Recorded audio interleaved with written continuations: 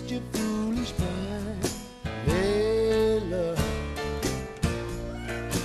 got me on my knees, Begging, darling, please, Darling, won't you ease my worried mind? And of course, Eric Clapton. Yeah. Now, how did I mean? Obviously, you've known each other. How did I get to meet him? No, no, no. But how did right? How did you meet? No. How did you decide? We shared the same wife. That's a good beginning.